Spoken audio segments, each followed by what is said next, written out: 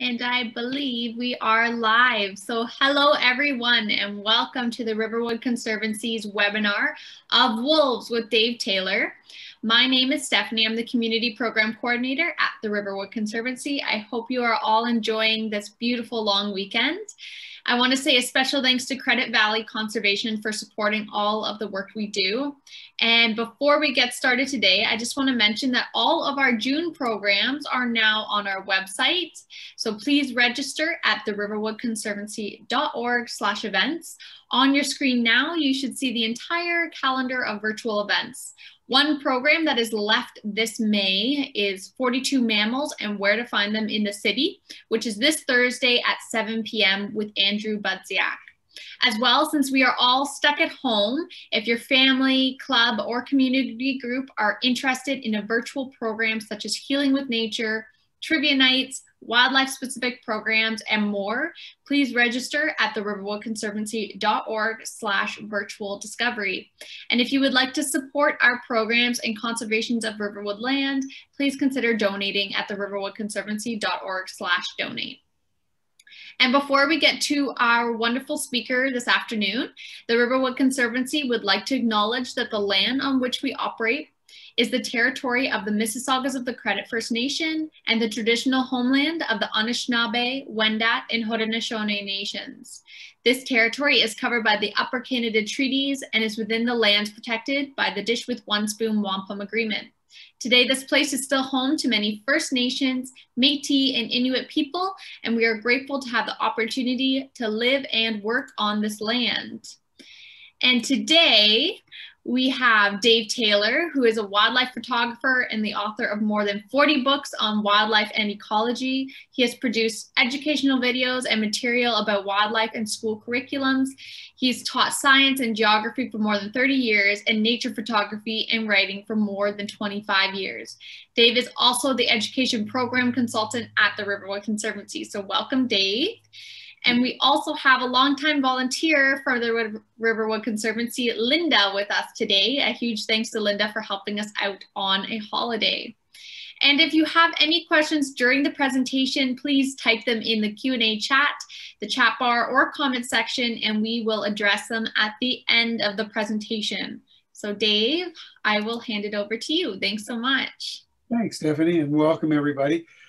Uh, we're going to talk about wolves today, and let's get this big question out of the way. There are no wolves at Riverwood uh, or even in Mississauga. And I have done a talk earlier on coyotes. You may have seen that, we've kind of addressed that. Let me begin by introducing you to the wolf. This is the wolf skull. And it is typical of most of the, uh, the dog family, the canine family. It's got sharp teeth. These teeth are used for puncturing these teeth are used for cutting. And most particularly, these teeth back here are called carnassials. and the carnassials act like scissors. And that's what gives the carnivore family their name from these teeth. What happens is the upper tooth cuts outside the lower tooth and shears the meat. And if you watch a dog or a cat or a lion or a wolf, chewing, they're going to chew on the side of their mouth. Other features that are prominent in the skull is the sagittal crest. This is where muscles are anchored and they go down and pull the jaw up and down. You notice that the eyes are facing frontwards and very prominent ears, the back.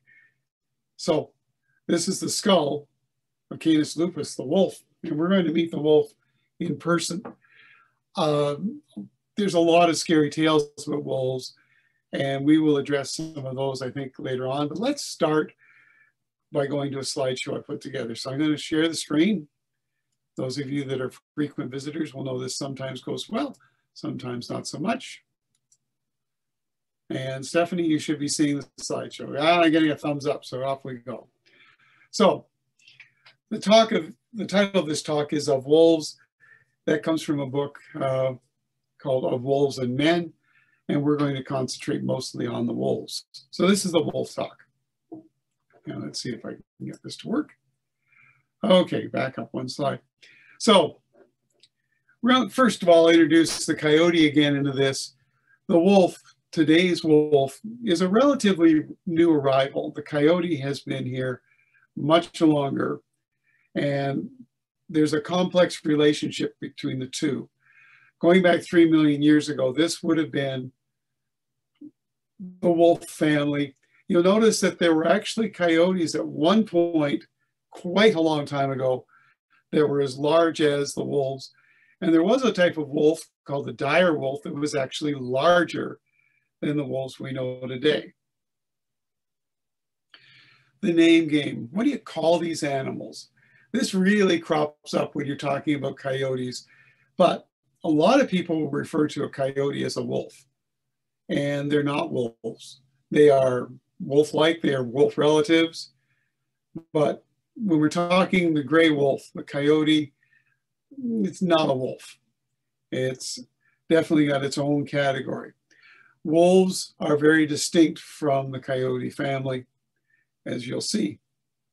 Today in North America, we have four races. I'm not sure they would actually qualify for subspecies, but there are four races of wolves. There's the Arctic wolf, which lives in the far north, the gray wolf, which lives across most of Canada and Alaska, the Pacific coastal wolf, which lives on the Pacific coast, and the Mexican wolf, which was largely extirpated and has been saved from extinction by a few dedicated conservationists and of course the United States uh, Wildlife Service. Coyote and wolf range. The coyote 7,000 years ago was primarily confined, according to the fossil record, to the Great Plains and the desert areas.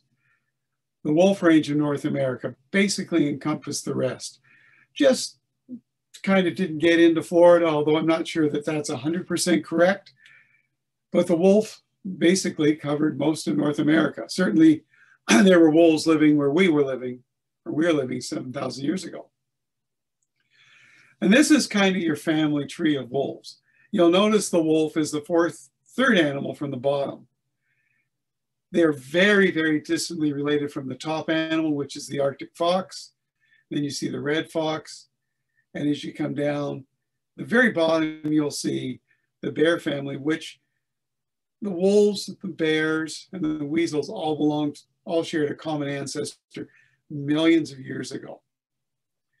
The wolf and the coyote are quite closely related. The wolf and the dog are even more closely related. These are North America's dogs. Various foxes on the left, on my left anyhow, and the wolves on the other side. What happened was, about three million years ago, a common ancestor of wolves and coyotes migrated across a land bridge into Asia. And that's where the species we know as wolves evolved. And they would spread from there across northern part of Africa, through Europe, through Asia. They would come back into North America about 400,000 years ago. Most of their range expansion in North America was, was blocked in effect by the glaciers. Meanwhile, the coyotes were left here without any wolf interaction and they evolved in a separate way. And they basically evolved into two species, the uh, coyote itself and what was called the red wolf. The Algonquin wolf doesn't come into the picture quite as soon as this graphic indicates. Then about 400,000 years ago, the wolf comes back in. It has to contend with dire wolves, saber-toothed tigers, American lions, American cheetahs, the megafauna that existed here until about 20,000 years ago. The wolf was kind of there, but it wasn't a major player. Then came the great die-off, which ended about 11,000 years ago, and most of its competitors disappeared and the wolf was left as the main predator. Now, gray wolves have a different prey list than, say, coyotes. So gray wolves prey on large mammals, moose, bison, muskox, elk, black bear, and mule deer. Um, And it, it, the best way to prey on those animals is to have a pack. When you get into the smaller prey, white-tailed deer, elk calves, mule deer, and bison calves, wolves are certainly capable of getting it. And in some places, coyotes will also form packs and prey on them.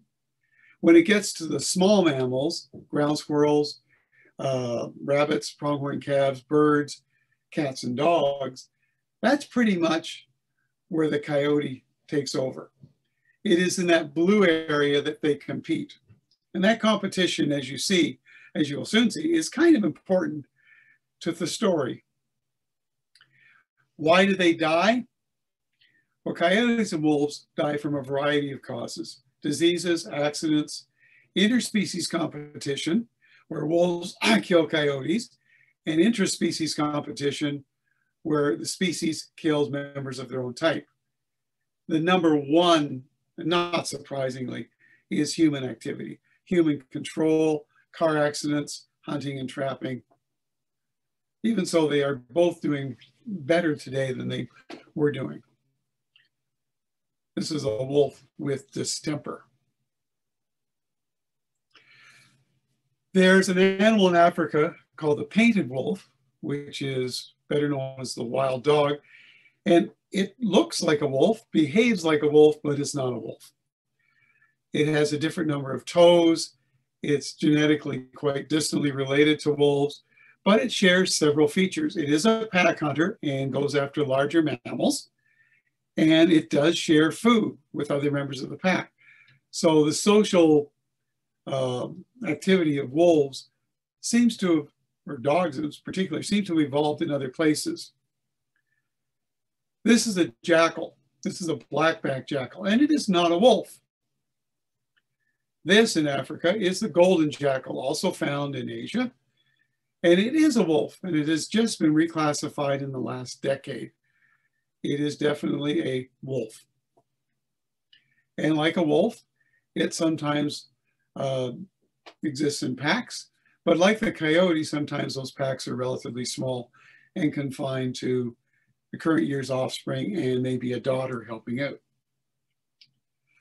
So in 1800s, Europeans have arrived, new weapons are being developed, and this is what the wolf range looked like. The red wolf was confined to the south. The Algonquin wolf had come into existence about the year 650 BC, uh, AD rather. Um, and the, the gray wolf still ruled most of the continent, that would change very quickly. As a result of overhunting and management and just plain aminosity, the gray wolf was pretty much eradicated from the United States. Pacific coast wolf did okay. It held its own.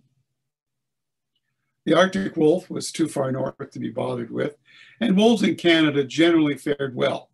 The Mexican wolf pretty much disappeared.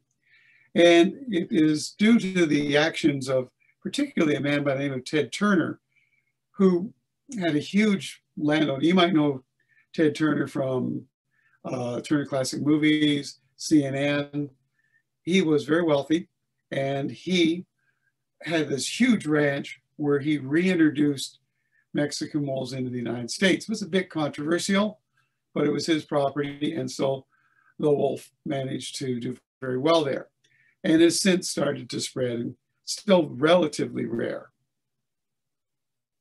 The coyote blossomed. It's everywhere. It did really, really well because its major predator, the wolf, was gone. The red wolf uh, is extinct, as far as I know, in the wild. There may be a few in, um, I think it's uh, South Carolina, uh, that may still exist, but by and large, it has been bred out of existence by coyotes. It was very close to coyotes. In any case, where you see red wolves now are going to be mostly in zoos or in very protected habitats. It is a beautiful animal, about the size of a coyote, and a lot redder than the coyote. However, I've seen some very red coyotes. The Algonquin or eastern wolf is threatened, and it is the wolf that, as the coyotes started to move out of the plains and the wolves started to move north, there was some crossbreeding going on apparently.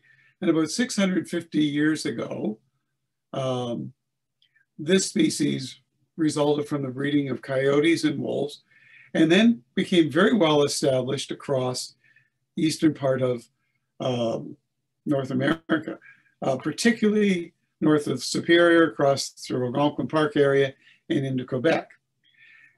Why it did well there at the exclusion of the gray wolf, I really don't know. It's a mystery, and uh, it certainly seemed to fare well.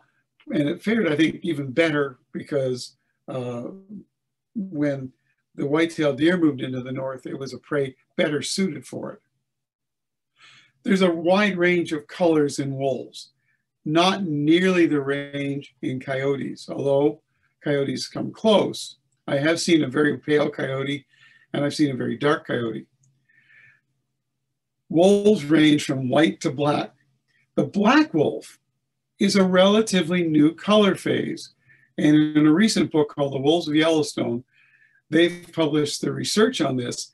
And they think about 20, 30,000 years ago, I may be wrong in the date a little bit, wolves bred with dogs.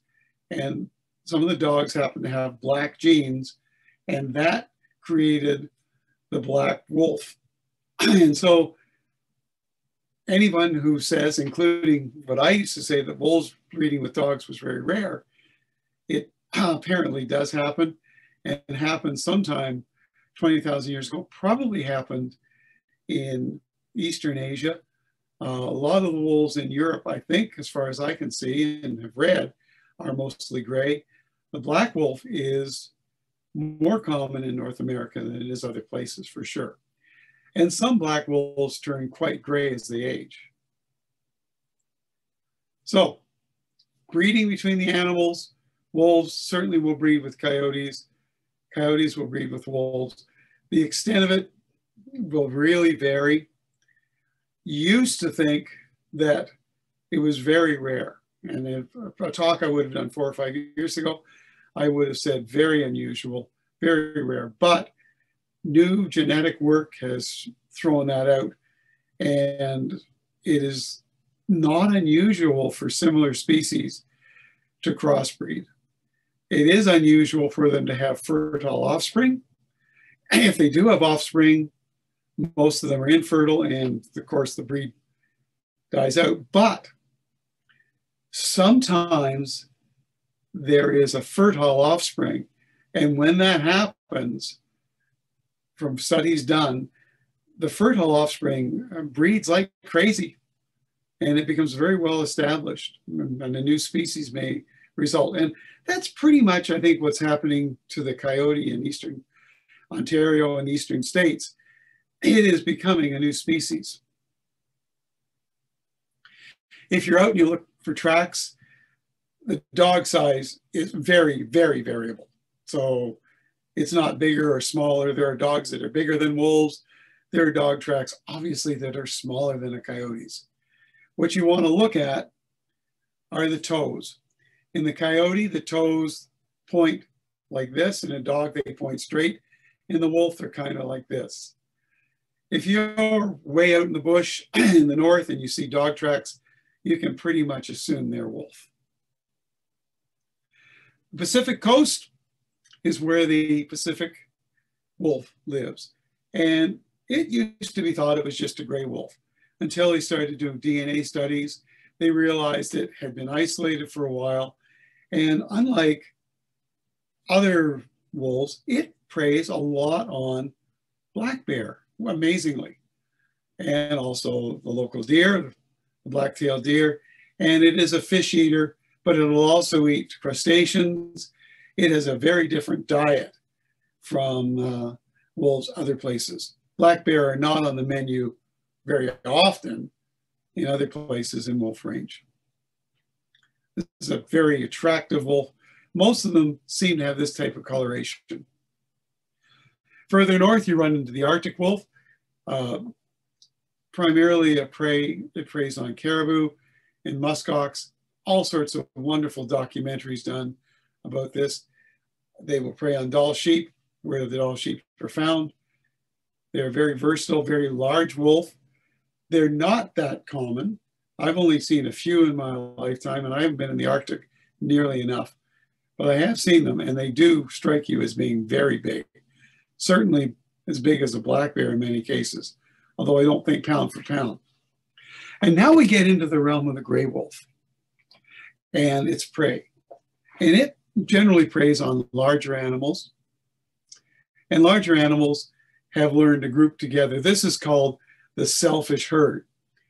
So we all get together and we figure that the slowest one of us is the one that's going to fall prey. So when I go out photographing bears, I always make sure I have somebody I can outrun. Um, that's kind of the attitude. Now, in all honesty, I'd be the guy that anybody else could outrun. The wolves will go along and they will test.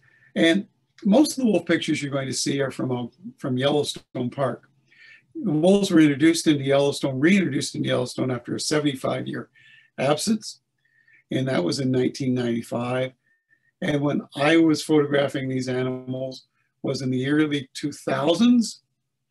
Um, you still see them, but from about 2000, 2010, that was the heyday for wolf viewing, you know, in Yellowstone. It was amazing.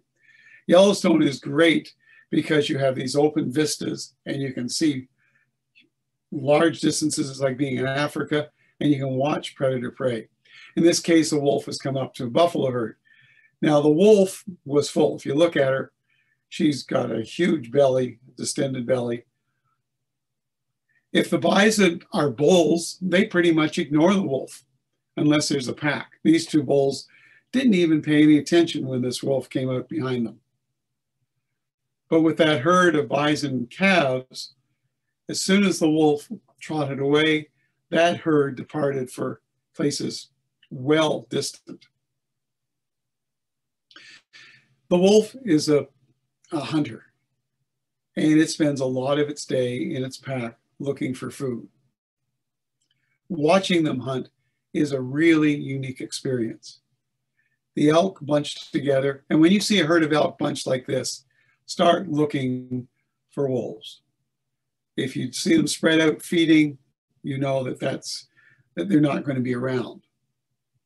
When the elk start to get nervous and move off, you can tell that there's something going to happen. So one day we were set up and suddenly the elk came barreling over the edge of this um, ridge and behind them were six or seven wolves. And it was really dramatic. The wolves closed in. The elk kept going. You can see there's a bull towards the back with young antlers. The wolves came pretty close. One of the elk decided to take refuge in the river. Now, in reality, see, being a, a journalist, I can doctor reality a little bit. In reality, this elk escaped and the wolf trotted off. But what happened in a lot of cases, and unfortunately, I may be fortunate for you, I never got to see it until it was out, over. But wolves are really good in the water, and these rivers aren't that deep, and wolves are good swimmers. And I would have to say that most of the elk kills that I saw with wolves feeding on them were along the banks of one of the rivers in Yellowstone. This is a cow elk that they brought down. And the wolves would come in. They were very uh, protective. Wolves interact a lot around food. It's kind of dramatic to watch. If you see ravens flying in, the raven follows the wolf. And in Yellowstone in particular, but also in Algonquin Park, the presence of a lot of ravens could really indicate that there are wolves about. Bald eagles are another indicator. This is just like watching in Africa when the lions run in and they, they chase after the, the vultures that have gotten the food. You'll notice in the foreground a coyote. The coyote has come in to investigate the kill. He's looking for an opportunity to feed on that elk. And another time, a grizzly bear is either confiscated or killed an elk. I think probably confiscated, and it was feeding on it. One of the wolves, you can see it on the side there, came back, and the grizzly bear tried to chase the wolf off.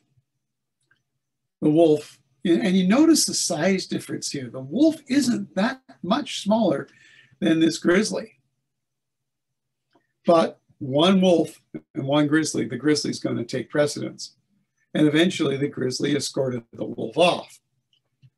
The wolf came back with a buddy and the grizzly was escorted off. By then, the grizzly had probably fed enough. And notice down in the corner, the coyotes come in again. Wolves do not like coyotes being around them. Coyotes steal their food. Coyotes are small wolves. Wolves don't like other packs of wolves, and a group of coyotes, a pack of coyotes, is, is treated the same way. Wolves hate coyotes. This is a young yearling wolf threatening a coyote, and you can see the size difference. The wolves have discovered this coyote's den and they were busily digging it. And there was nothing the coyote could do. This was such a dramatic thing to watch. The coyote circled, they yelped. There were two of them, the mother and father, but the wolves kept digging the den out. And eventually they got to the puppies and they killed every puppy.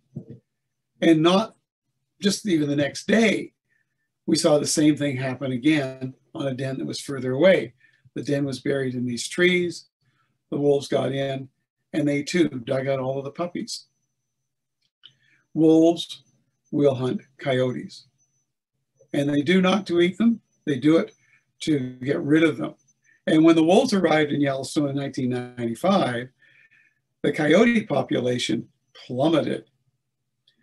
And that had a wide ranging effect on the, the animals. With the, without the wolves back in the year 1920, when the wolves were extirpated, the coyotes were free to do what they wanted to do. Let's talk a little bit about humans before we come back to the coyote story. We think of wolves as bad animals, at least we used to. And that's because our European ancestors, and I'm talking, um, I guess, European people mainly, they had wolves killing their deer and they didn't like it. And the wolf was a bad animal. But for the Plains Indians and the tribes of the Southwest, they felt the wolf was a benefactor because the wolf ate deer and the deer were eating their crops, the people's crops. So they had a completely different attitude and wolves were tolerated. But as Europeans came into Europe, into North America, they brought their attitudes and the negative attitude towards wolves. They also brought a negative attitude towards the indigenous people. And they also brought diseases, which wiped out the indigenous people. Two thirds of their numbers died because not of warfare, but because of introduced diseases. That opened up the land for cattle ranching, and cattle ranchers do not like wolves. So they began a process of getting rid of the wolves. They trapped them and they poisoned them they would use baited carcasses. And pretty soon, the wolf was eradicated from the continental United States, except for a few up in northern Michigan and Wisconsin, where they continued to survive. Now, this allowed the coyote to expand its numbers. And one of the animals that was really uh, impacted by this was the pronghorn antelope. Pronghorn are an indigenous North American species. They can outrun wolves. Wolves don't bother with them, but coyotes will look for the young pronghorn antelope when they are left by their mother. So this animal is left alone. Coyotes were pretty adept at smelling them, and so pronghorn numbers suffered. They also suffered from fencing that blocked off their migration routes. So it was a two-pronged attack the Europeans had unleashed a new predator, a major predator on pronghorns, and they had stopped the pronghorns from following their migration routes. Meanwhile, attitudes were changing about wolves. And the public was becoming more urbanized. And books like Farley Mowat's Never Cry Wolf, which was basically taken from a study done by Adolph Murie, uh, it changed the attitude of people. It popularized wolves. We were starting to see them for their good qualities, their, the way they raise their families. And wolves are really good parents. Now, one of the myths that you'll read is that wolves only allow the top alpha and beta female to breed. That's not true. Studies in Yellowstone have really shaken up our understanding of wolves. We now know that there could be several females within a pack that will breed. Sometimes there's only one. The whole pack does look after the youngsters. They will take the youngsters starting around up here in July and August. They'll take them to their kills. And the youngsters can quite get quite aggressive around kills. They'll chase their parents off, but it's tolerated behavior. If mom and dad really don't want the youngsters there, they can enforce their rules. There's a real bond between these animals. And most of the females will stay with the pack. The male pack puppies will sometimes leave. They'll go off on their own because they want to form their own pack and they're not going to be permitted to breed with their mothers or their aunts or their sisters. So they leave the pack. Sometimes a female will.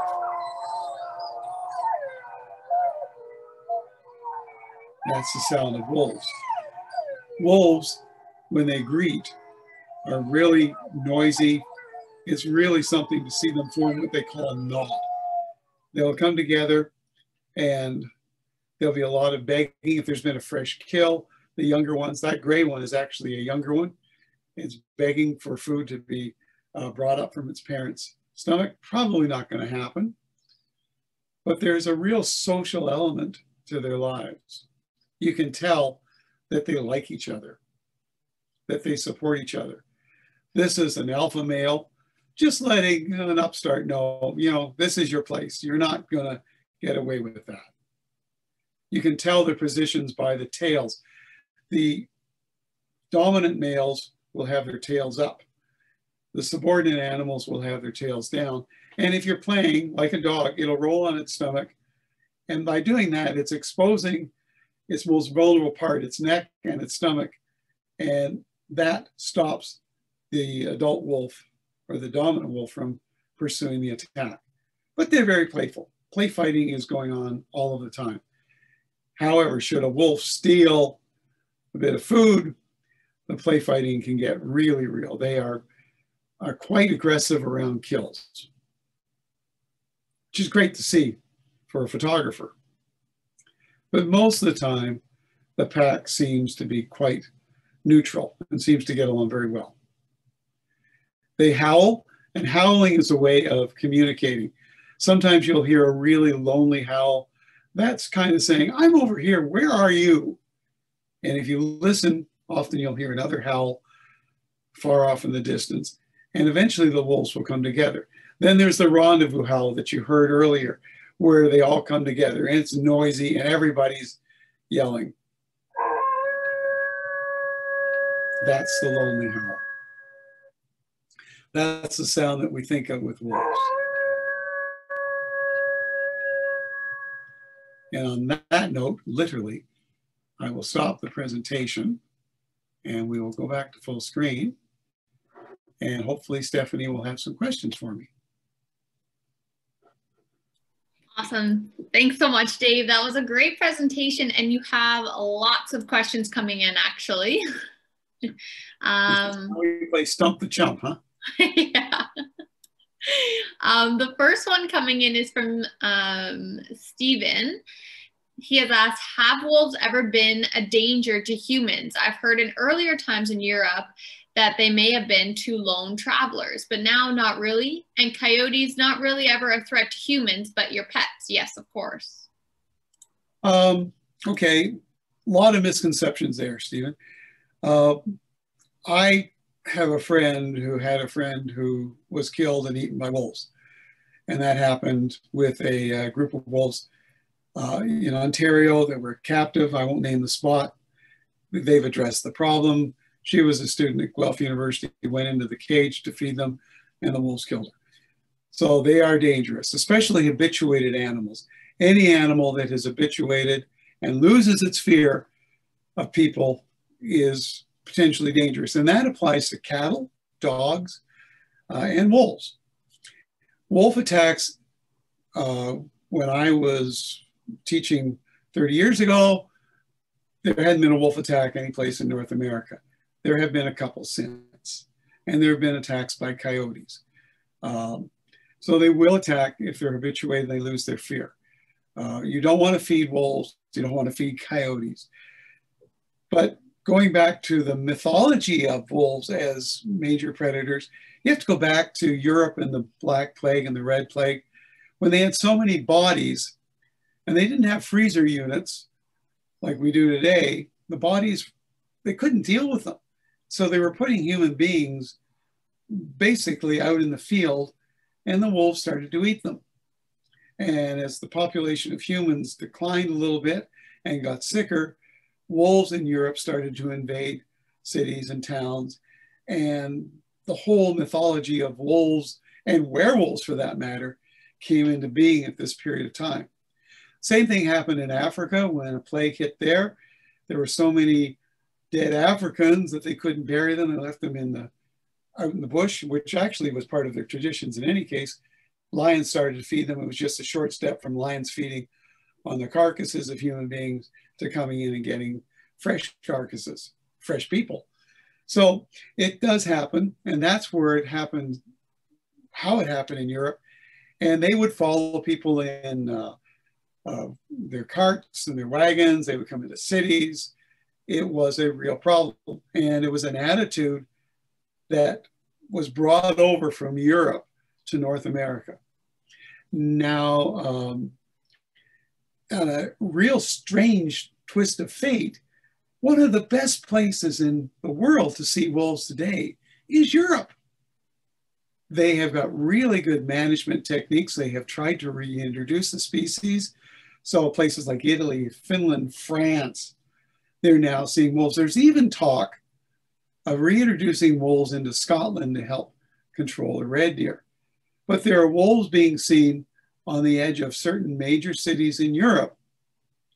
And they're not eating people and they're not hurting people because they've got a really positive attitude. It's a really great conservation story. Now we get to the coyotes. Well, coyotes have attacked people. There's no question. It's really rare. It's uh, not something you need to worry about. They will attack uh, small pets for sure, but studies have been, that have been done in Los Angeles and Chicago, and I think probably even now in Toronto and the GTA show that the attacks by coyotes on pets are really rare. And with all due respect to cat owners, cats do more damage to the environment by killing small birds and mammals that, that when they're allowed to run free than they really should be allowed to do. And I think the coyotes help control that. They're doing our birds and our squirrels and our chipmunks a favor. So I'm, I do think you don't want to feed coyotes. You don't want them to be in your backyard, although they probably have been. Uh, I know I've had a coyote in our street uh, a few months ago. Um, I just embrace it. I think that it's a wonderful thing. Um, but I don't let, I didn't let my cat out. My cat's passed away, sadly. Um, but and if I have young puppies, that's a concern. If you're walking your dog and you have a coyote and it approaches you, it is probably because it does not want to prey on the dog so much as it wants to go away from its den because dogs would have in the past and wolves in the past would have raided coyote dens and destroyed them. And by the way, coyotes also raid foxes' dens. And the other side of the story in Yellowstone, this is a long answer to a short question. I'm sorry about that, Stephen. The other story is I said the heyday of wolf viewing was about until 2010 there are as many wolves in the greater Yellowstone area now as there was 20 years ago, but the wolves kept killing each other off and they forced the other wolf packs to move out. So the packs are much more distant and they're smaller. You won't see packs of 20 animals like I was seeing. You'll see packs of maybe eight to 10 animals. And they're much more difficult to see because they're, they're not all in Lamar Valley where, where there used to be several packs.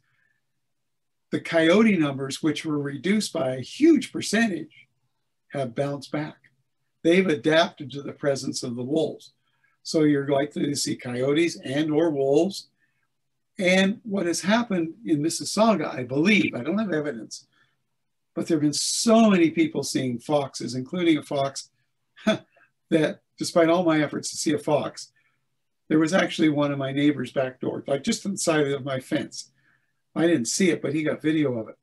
The foxes have come back. I think they've learned how to live with coyotes, which is really cool. Animals are adapting. So I hope that sort of straightens out the myth and puts some information about other myths that are out there. Next question, Stephanie. Sorry to be long-winded. No, no, no, that's great. Um, Maria asked on Facebook, do we have coy wolves in the suburbs of Mississauga and Halton Hills? And I guess a question I have for you to take on to that is what are your feelings on the term coy wolves, Dave? um, I, coy wolves is, is an expression that came into being about 40, 50 years ago, I guess, when people started to see these coyotes arriving into North America or into our area. And they certainly, you know, dogs have two breeding seasons a year. And the coyotes, the male coyotes, were particularly interested in the female dogs when they came into heat in the fall. And I think that led to this myth. There may have been some breeding, but not a lot. What we're getting is a new species that is developing. It's a mixture of wolf, probably some dog, and some coyote. It's a bit larger than the western coyote. I think in another, who knows how many years, genetic testing will identify it as a new species. You can call them coy wolves, brush wolves. Um, I'm going to call them coyotes and more properly, probably eastern coyotes, eastern coyotes. They're here to stay. They're certainly in this area. Um, they're around where we live. And if you live in a city, you've got more coyotes closer to you than if you lived in the country because they're still widely hunted out in the country. And um, coyotes here seem to have adapted. So they, they learn they learned how to deal with traffic. They learn how to be around people. And those are the coyotes you want to keep. You don't want to bring in the coyotes from the countryside because they don't know the rules. And we've seen that with black bear, we've seen that with coyotes, we've seen that with deer. Animals that get established in the, in the cities and adapt to living with people are generally well behaved. And the best example is a bunch of grizzly bears that live in Italy, of all places, called brown bears over there, that have lived there for centuries and continue to exist. And with only one exception, they've never been a problem with people. And you know, people know they're there. Great, thank you, Dave. Um, Ron has asked, uh, you stated that when ravens are around, there are often wolves around too. We have often met ravens on the Mizzy Lake Trail in Algonquin Park, so that perhaps means that we should watch out for wolves. I hope so. Wolves have been seen on the trail, but not by us, unfortunately. I've seen a couple of wolves on that trail. Uh, the raven thing works really well in Yellowstone, where you've got open spaces and you have a chance to see. If you were to see a flock of ravens uh, around a particular area, I think you probably got to kill. Ravens will certainly follow wolves, but ravens will also do other things too. I mean, they're very intelligent birds. And uh, ravens have learned, particularly on the Mizzy Trail, um, there was one that learned to bark like a dog, for heaven's sakes they will hang around uh, people. So I think maybe you're seeing the same kind of behavioral trait, but instead of following wolves, they're following you. Um, great place to photograph ravens, Mizzy Lake Trail. Not the greatest place to photograph wolves. Uh, yeah, I think there was actually a raven that was fed on the north end of Mizzy Lake. And so I think it was hanging around there and hopping towards people because it was being fed. That was the one that barked. Yeah. It was really strange. That's more likely. yeah. But you can sometimes hear wolves on Mizzy Lake Trail if um, you're listening. Yes, I, the only place I've ever called a wolf in was on Mizzy Lake Trail. I yeah. was out there, I was taking a guy, I was guiding a guy doing some moose calling, and we weren't having any luck with moose. And then we heard this wolf call. So I called, and the wolf called back, and then another wolf called. And the next thing you know, we saw this wolf trotting down the trail towards us. It was obviously a juvenile, it was like a yearling. Um, it was just an amazing thing. The first time I've ever called in a wolf and the only time I've ever called in. No, that's not true. I did call in wolves when I was a park uh, naturalist up in Algonquin Park back in, I think it was 67. I had a girlfriend that lived at the far end of the park from where I worked. And I would hitchhike down to see her. And sometimes I got to drive with another ranger and he dropped me off at Rock Lake. And then I go, well, I was coming back from her place and I got to the Rock Lake Road on Highway 60. If you know the park, you know where this is. There was a big blue school bus park there at the time. And I was alone. I, I was waiting for this guy to pick me up and he was late. So I started to sing. And being, you know, the creative guy saying the night has a thousand eyes. And I'm belting it out. And I'm not the world's best singer as, as none of you know, because you never heard me sing. But suddenly I was answered by wolves. And it was a pack. And I thought that's really cool. So I stopped singing and listened and then they went away and I started singing again. They called again, but they were closer. They were up on a hill and now they were down. Well, now I was getting back to that European mindset that, oh my gosh, these are wolves and they're coming to see me. So I kind of backed up to the edge of that blue bus and I got a stick. And as I stood there, I could hear the toenails of the wolves. Now it's pitch black on the road as they circled around me. It was an amazing experience. Um, and then they left. I'd like to say they ate me, but they didn't. And then finally, like that. uh, so it was a really cool experience. That was my first experience with wolves, and I think the first time I really started to realize that they weren't as dangerous to people as we thought they were. Now, I did not know at the time what I met was a Algonquin wolf. It wasn't a gray wolf, because back in those days, the 60s, we just assumed they were gray wolves.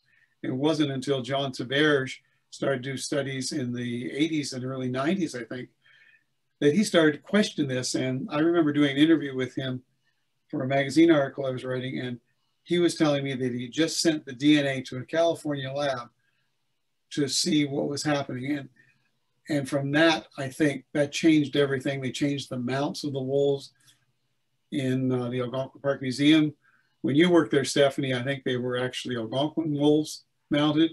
Mm-hmm. When I worked at the museum, they were gray wolves, and they made a big change over. You know, it was a big deal.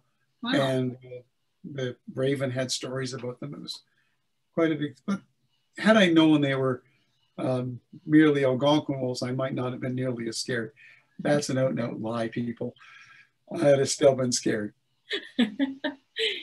um, Ron asked, what should you do if you meet up with a wolf on a trail? Make loud noises after shooting with your camera, of course. yeah, shoot first. Um, I talked to them. I, I, I had the, the, the wolf that was on the uh, cover, the, so, the, the talk show. Um, that wolf, we were watching it. this is in Yellowstone, and that walk, that wolf walked right up to me. I was at the we were the last car in the line of people that were watching the wolves. We'd gotten out. I was with uh, my friend Gary. I think he was at the front of the vehicle. I was at the back of the vehicle. The trunk was open. I had my camera, I had my long lens, I had my short lens. And the wolf kept walking and walked right up to me and came within, well, Stephanie's image on the screen was about as close as the wolf got. It was that close. So close, I couldn't even get a picture with my short telephone lens. And it looked at me. And I talked to it. I just said, "How you doing? You know, uh, we don't want any trouble here. Um, you're beautiful. You know, you're really quite a wolf." And it, and it struck me. His eyes were so yellow. They they were like gold, and they were piercing.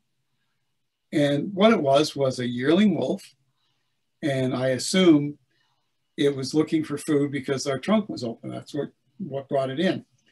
Uh, about a week later, we were out uh, shooting the same area and we saw the rangers come down and they had uh, shotguns with beanbags in them.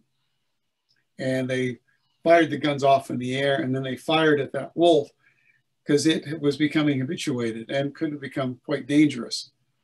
So it was really neat to see the management side of it, but to get that close to a wild wolf, uh, it's an experience you, you will never forget if you're ever that lucky. Um, if you are threatened by wolves or bears or whatever, make yourself look as big as you can. If you got a camera, put it above your head, stand your ground, unless it's definitely showing signs that it's going to attack. If you run from a wolf, you're done. So, uh, I mean, they, we were photographing a, a captive coyote, my brother-in-law and I once, and it was a small coyote. It was like fox size. It was a young coyote, but it nipped my brother-in-law's leg. Didn't break the pants, didn't even break the skin. But its bite was so powerful, it pulled the muscle away from the bone. And we had to go to the uh, hospital in Yellowstone about uh, three or four days later to have him looked at to make sure there wasn't any serious damage.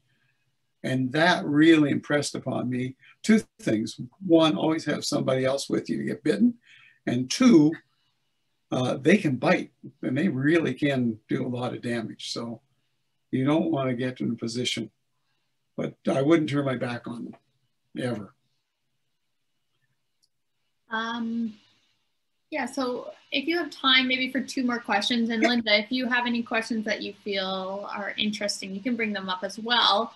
Um, one that I saw was from Elizabeth, and she has asked, how can we protect the wolves population and their habitat? Uh, well, watching this helps. Uh, the government of Ontario uh, was going to instigate a wolf hunt again up near Algonquin Park. This was a few years ago. The outcry of the public was such that they decided that they would not go forward. The problem is with Algonquin Park, its deer population is growing again, and the deer tend to winter up outside, uh, outside of the park, and the wolves follow them. And that actually goes on both sides of the park. There's no way you can take a look at a wolf in Algonquin Park and say that's a wolf and that's a coyote. They're just, you can't discern the differences. They're, they're considered wolves if they're, I think, 80% wolf and only 20% coyote. But the difference is not something that you or I, oh yeah, I've seen white wolves in Algonquin Park. I've seen black wolves in Algonquin Park. But I've seen almost white coyotes in Riverwood, and I once saw a very black looking coyote in Riverwood just uh, two years ago. So color isn't going to be an effective way of telling. So the the government said basically, well, you can't tell which is which. So any wolves within a certain distance of Algonquin Park are now protected. Yes, we know some of them are coyotes, but we can't tell the difference. And there's only about 300 of these Algonquin wolves left in Algonquin Park. We need to protect them as best we can. And so by being sort of an agitator and saying we need to protect our animals, the biggest threat to wolves right now is in Idaho. Uh, the, you know, the Yellowstone wolves have expanded their range and Idaho has proposed, I believe I'm correct in this, uh, hunt, hunting season that would effectively eliminate the wolves, could kill them all. Might not be easy to do, but there will be an outcry, I think, to stop it. It's political action, and city people are making the decisions, driving the decisions, uh, a lot more than ranchers and hunters and whatever used to. The, the rules have changed in terms of conservation. Make yourself known. Go to Yellowstone, become a wolf watcher. It's an incredible experience. Go to Algonquin Park and go on one of the wolf howling tours when it's safe to do so. Participating in that. Enjoy having coyotes around your backyard. I mean, that's really where that type of help is needed. And the more you like them, you know, buy books on wolves, watch my videos on wolves. I don't know, just just say you're a wolf lover. And the wolves in Yellowstone are so well known that they have their own websites. You can follow their births to their deaths.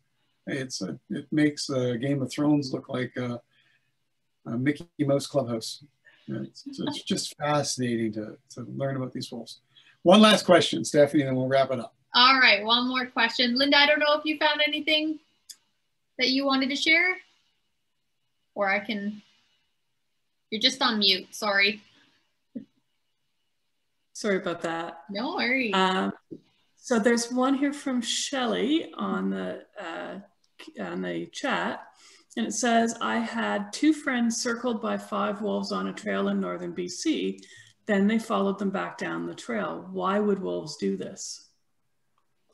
Wolves would do that because they're very curious animals, just like that wolf that came up to me. Wanted to see what you're all about.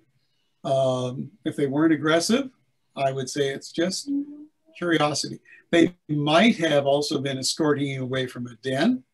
That's possible. It depends on what time of year. I've been escorted away from the den by a coyote in Riverwood. Um, it, it, happens. Uh, it's not necessarily, there might be some aggression. Certainly five wolves and two people, the odds were not on the people's side had the wolves.